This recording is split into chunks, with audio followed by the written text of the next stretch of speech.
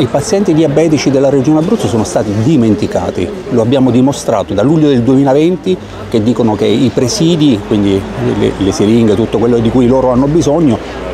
verranno recapitati nelle farmacie comunali o addirittura nelle loro case. A maggio del 2021 abbiamo presentato un'interpellanza l'assessore Venice ha risposto e ci ha detto a breve abbiamo la soluzione in mano, in realtà la situazione non è assolutamente così, sono costretti ogni due mesi a scendere anche dai comuni montani per recarsi a Pescara a ritirare questi presidi e questo avviene anche nelle altre province abruzzesi naturalmente. E poi c'è la situazione che nasce dal distretto di Via Rieti dove è stata dal 16 di settembre trasferito il reparto di endocrinologia e diabetologia.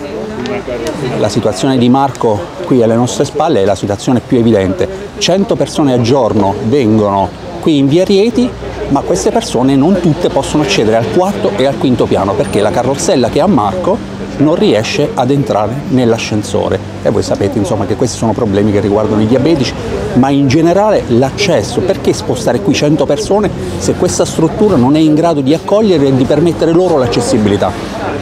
Quindi chiediamo che tutta questa situazione sia rivista, che sia ritrovata una soluzione il prima possibile e che questo reparto che comporta l'accesso di 100 persone sia ritrasferito all'interno dell'ospedale perché svolgevano un grande ruolo per quanto riguarda le consulenze di chiunque accedeva al pronto soccorso, invece oggi un diabetico grave che accede al pronto soccorso deve spostarsi qui a piedi nei giorni successivi se non addirittura procedere al ricovero, il che significa gravare sulle spese sanitarie della nostra regione. Una scelta incomprensibile e che comunque va assolutamente rivista.